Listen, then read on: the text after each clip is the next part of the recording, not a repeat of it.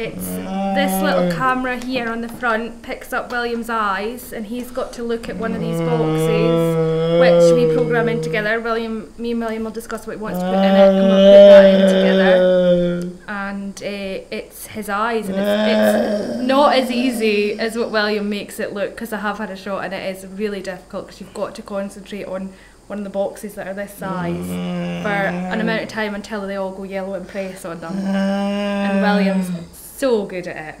Very clever. Hmm. So it's not easy to do. My name is William. I come to Newton Stewart RC, and I really enjoy it. I especially enjoy going to the studio where I am making an animation. I am also using a flip camera to record a DVD for my review.